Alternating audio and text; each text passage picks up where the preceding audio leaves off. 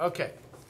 So let's say you have a cylinder or you have something that you want to wrap uh, the text around. Um, there's something called the wrap deformer, which I was playing around with earlier.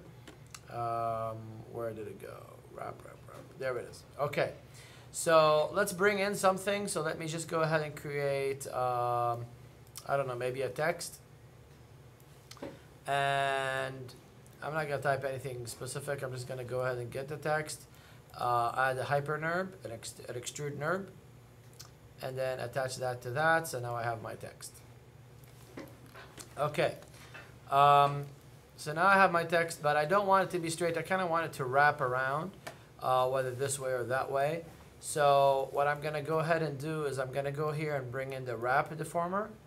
Now what it will do will give you a mesh um, that will wrap around it. And then you can manipulate this mesh. You could rotate it, turn around.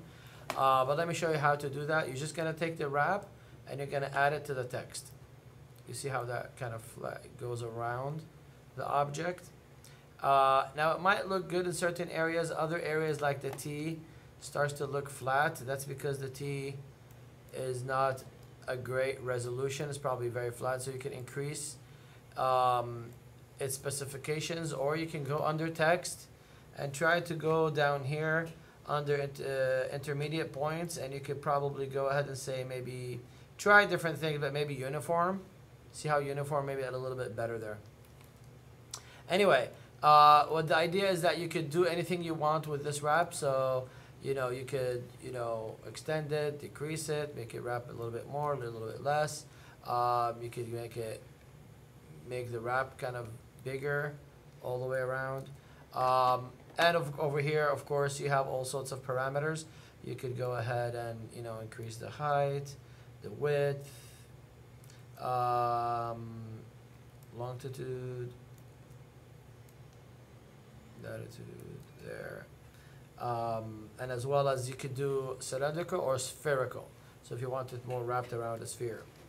So you could go ahead and try that. Um, and then remember that, you know, you could take the wrap uh, and you could rotate it as well physical. So that will give you a weird kind of looking effect with your text. Uh, you could try to move that. It's pretty cool. Like if I were to animate like a water logo, it would look really cool. I can get this really cool, nice effect. Um, but anyway, um, uh, the idea here is to show you that the mesh is interactive. Uh, if you want the whole thing to rotate, you can select everything here by just dragging and then option G and this way you can control the whole thing and make everything rotate and you can tweak anything you want. Uh, try to see, play around with the parameters, see if um, what type of different controls you can go ahead and do and hopefully that will be helpful. All right.